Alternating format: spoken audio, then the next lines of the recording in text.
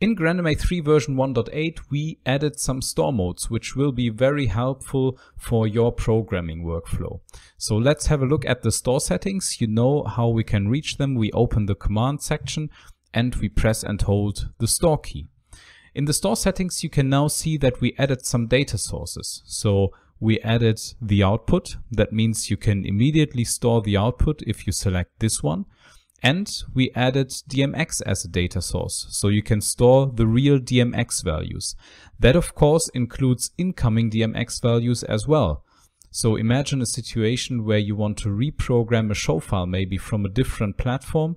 You just send DMX in to your GrandMA 3 console, you get the DMX values in, you select the data source DMX and you can store the DMX values to your cues and sequences or presets.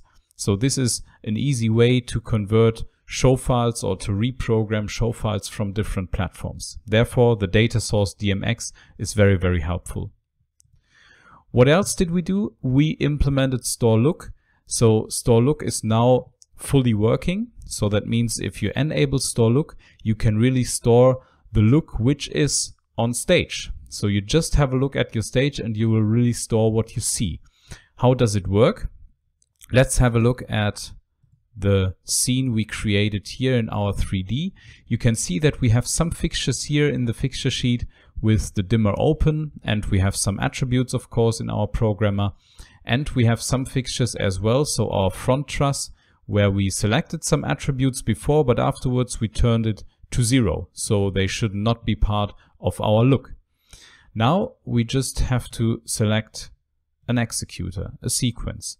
And what you could see here is that now for the fixtures where the dimmer value is bigger than zero, so we have an open dimmer value here, for example, all attributes are stored. So real the look we, what we see. And for the fixtures where we have a dimmer value of zero, so the fixtures 9 through 13, for example, the dimmer value is stored so that it at zero, but not the attributes. So you store really what you see, you get the look of your stage stored in your sequence and on your executor. So let's have a look like this. We clear the programmer and we run our sequence number two and we really get the look we stored with the store look option. One additional thing when we have a look at the store settings again, you can also combine store look together with all for selected. That is really helpful if you have a specific fixture selection, you're working with 10, 12 or some fixtures, you just turn them on, set some attributes, some of them you turn off, and then you really want to store the look of this selection.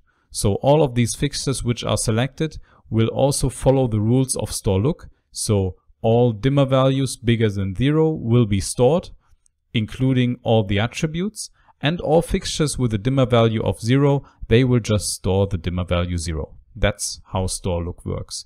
So have a look at the different store settings now with version 1.8 and happy programming.